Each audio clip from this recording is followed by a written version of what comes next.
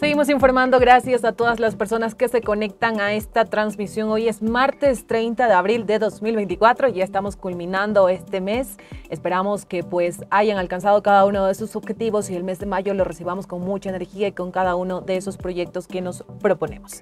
Continuamos con la información y nos movilizamos nuevamente hasta la Asamblea Nacional para escuchar al legislador César Umajinga, quien realizó la presentación del proyecto para el fortalecimiento de la seguridad e integración educativa. El asambleísta habla de la necesidad de generar procesos de inclusión en el que niños, niñas, adolescentes, adultos y adultos mayores sean incorporados al sistema educativo, donde no exista discriminación y se respete el marco de la interculturalidad.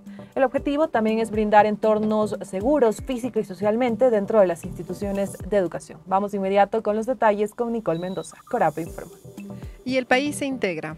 ¿Cómo están compañeros? En este momento estamos en la Asamblea Nacional en donde asambleístas eh, por Cotopaxi, incluido el asambleísta César Umajinga, va a dar una rueda de prensa para hablar acerca de la presentación del proyecto de eh, seguridad integral al sistema educativo. Escuchemos lo que el asambleísta nos menciona acerca de esta presentación del proyecto.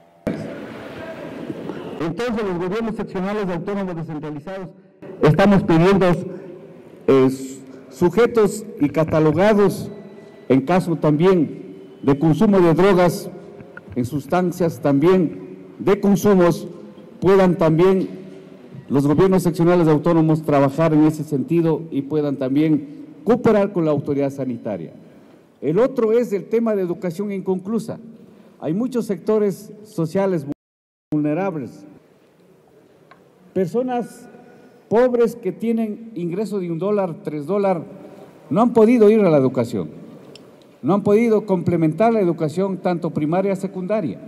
Por eso ha habido la educación inconclusa durante toda la vida democrática, no han podido resolver las autoridades, en este caso del Estado ecuatoriano. En ese sentido estoy planteando que los sectores vulnerables, la gente más pobre, la gente en defensa que no han podido ir a la educación primaria, secundaria, puedan tener también acceso de ir a la educación, terminar secundarias y también terminar la primaria, que es, es indispensable lo que la Constitución de la República garantiza.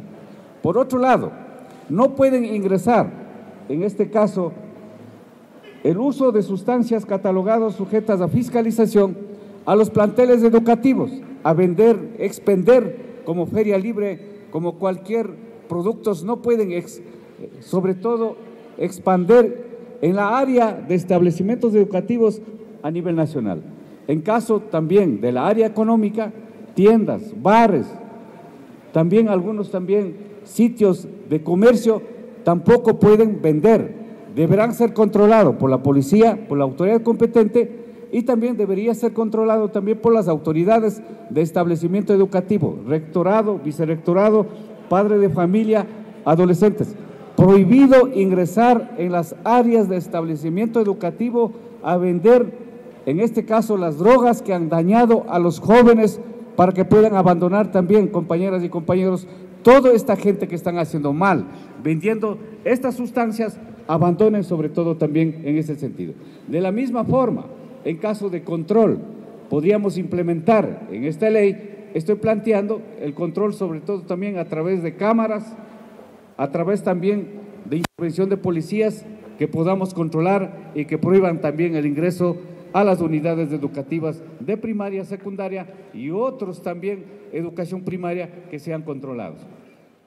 De la misma forma, estoy planteando el tema de autoridades de establecimiento educativo tiene que ser a través de concurso y merecimiento. No podemos ver en la actualidad de todos los gobiernos economistas dirigiendo el planteles educativos, distritos de educación, distritos zonales, ingenieros industriales, eh, agrónomos. No puede, compañeros, suceder eso en el país.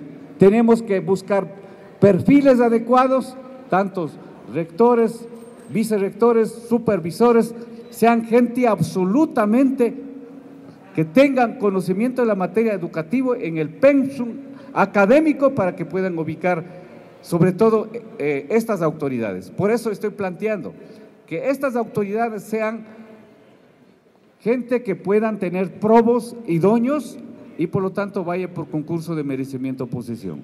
Creemos que estas reformas ayudarán mucho a fortalecer el tema de seguridad, el tema sobre todo también de tener una planificación adecuada y alcanzar sobre todo con estudios académicos, científicos a nivel nacional. Son estos temas que voy a plantear, las reformas que serán necesarios para el establecimiento educativo, para la educación también de la juventud, que podamos girar otra política de eficiencia, educación e investigación, que tengamos que a futuro tener buenos elementos a nivel de la juventud. Muchas gracias.